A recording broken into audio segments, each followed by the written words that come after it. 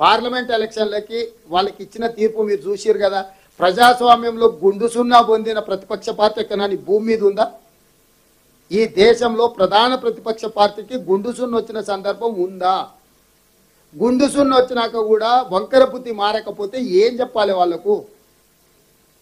వాళ్ళకి ఎంతసేపు ఉన్నా మమ్మల్ని ఓడించారు కాబట్టి వీళ్ళు ఈ- ఈ కంపుల్నే చచ్చిపోవాలన్న ఆలోచన పెట్టుకొని ఒక విషమంతా మూసీలో ఉన్న కలుషితానికంటే వాళ్ళ మైండ్స్ పొల్యూట్ అయినాయి. ఆ పొల్యూషన్ని అందరికీ అంటించాలనే ప్రయత్నం చేస్తున్నారు. ప్రధాన ప్రతిపక్షానికి ఒక్క సీటు రాని సందర్భం ఒక్క బీఆర్ఎస్కు ఒక్క తెలంగాణలోనే ఉందట. నీ కాంగ్రెస్ పార్టీకి గుజరాత్లో ఒక్క సీటు రాలేదు కదా? నీ అది అక్కడ గుజరాత్లో కూడా కాంగ్రెసే ప్రధాన ప్రతిపక్షం. మధ్యప్రదేశ్లో కూడా కాంగ్రెసే ప్రధాన ప్రతిపక్షం. అక్కడ కూడా ఒక్క సీటు రాలేదు కదా? గురువింద గింజ తన కింద నలుపు తెలియదు అన్నట్టు ఏం మాట్లాడుతున్నావు? నువ్వు మాట్లాడేటప్పుడు ఏమన్నా కొద్దిగా హోంవర్క్ ఉంటుందా? ఆలోచిస్తావా? ఇక ముఖ్యమంత్రిని కదా నేను ఎటువంటి ఏది మాట్లాడినా చెల్తుంది ఏది మాట్లాడినా తెలంగాణ ప్రజలు నమ్ముతారు అని మాట్లాడుతున్నావా?